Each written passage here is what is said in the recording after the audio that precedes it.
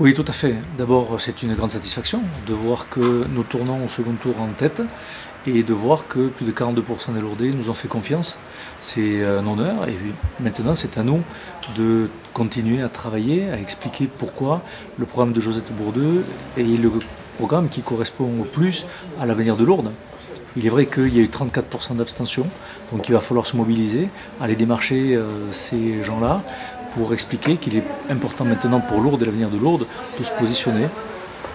Donc euh, c'est plutôt euh, une bonne posture, une bonne position et l'avenir de Lourdes est envisageable. Donc nous allons l'envisager tous ensemble.